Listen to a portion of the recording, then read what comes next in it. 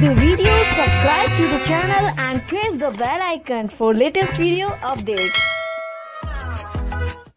Hello guys welcome back to my channel मैं हूँ निधि और आज मैं आपके लिए बहुत ही अच्छा एक ऐसा ड्रिंक लेके आई हूँ, जो सफ़ेद बालों को काला करने में आपकी बहुत मदद करेगा। मैंने बहुत सारे hair pack hair oil share किए हैं अपने चैनल पे। साथ ही आज मैं आपके लिए एक बहुत ही नया तरीके का एक ऐसा ड्रिंक लेके आई हूँ, जिसको आप पियोगे और मॉर्निंग एंड नाइट पीना है इसको। और पीने के बाद आप देखोगे कि दो से तीन महीने आपको लगातार पीने पड़ेंगे और इससे क्या होगा ना, आपके जो सफ़ेद बाल है वो जड़ से काले निकलेंगे। यहाँ पे मैंने दोनों तरह का तिल लिया है, आप देख सकते हैं सफ़ेद और काला। यहाँ, जहाँ मैं रहती हूँ, यहाँ पे इस तरह का काला तिल मिलता है। तो अगर आपको डाउट है कि ये तिल नहीं है तो आप प्लीज़ देख लीजिए, ये तिल ही है। क्योंकि बहुत लोग बाद में बोलते ये तिल नहीं है। तो हमारे यहाँ इसी तरह के काले तिल मिलते हैं तो मैं इसी चीज़ का यूज़ कर रही हूँ। आप चाहे तो किसी एक तिल का भी यूज़ कर सकते हैं या मेरी तरह दोनों तिल का यूज़ कर सकते हैं।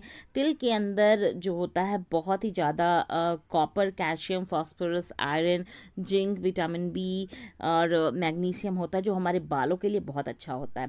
और अगर इन सारी चीज़ों की कमी हमारे शरीर में हो जाती है तो हमारे बाल झड़ते हैं, हमारे बाल असमय सफ़ेद होते हैं और बहुत तेज़ी तेज़ी से सफ़ेद होने लगते हैं। इसके अलावा भी बहुत सारी वजह होती है बालों के सफ़ेद होने का।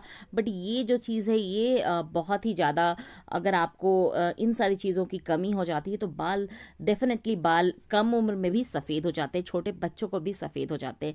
तो इसकी कमी कैसे पूरी की जाए? तो इसकी कमी पूरी करने के लिए हमको इस, इन सब का सोर्स हमें कहाँ से मिलेगा तो ये सेसेमे सीड से मिल सकता है, तिल से मिल सकता है।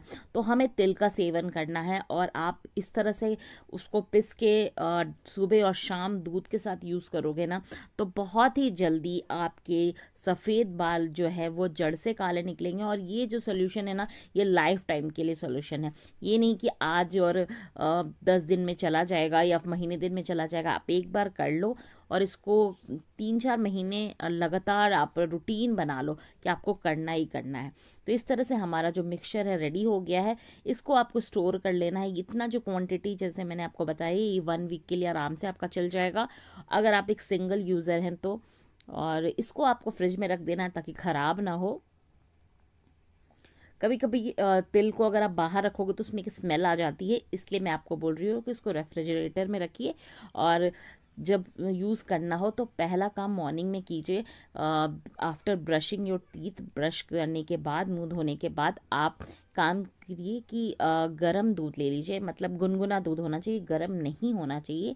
हल्का सुसुम जिसको बोलते हैं, कोसा भी बोलते हैं, वो दूध ले लीजिए और उसमें आपको एक चम्मच मिला देना है। अगर आपको लगता है कि ये दूध की क्वांटिटी आपके लिए ज़्यादा है और आप सुबह में नहीं पी सकते हो तो क्वांटिटी कम कर दीजिए उस हिसाब से और मिक्सचर भी थोड़ा कम कर दीजिए।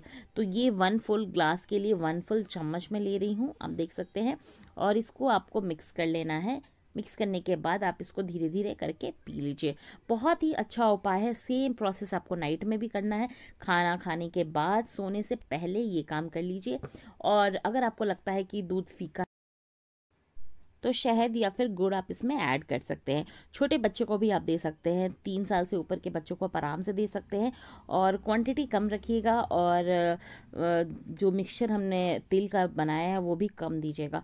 तो इस हिसाब से आप अगर लगातार इस मिल्क को सुबह और शाम पी रहे हैं तो महीने दिन के अंदर आपको रिज़ल्ट ज़रूर दिखेगा।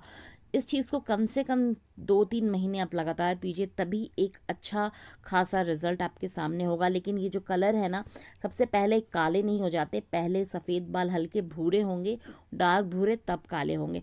और जब ये आएँगे तो फिर दोबारा सफ़ेद आपके बाल नहीं होंगे।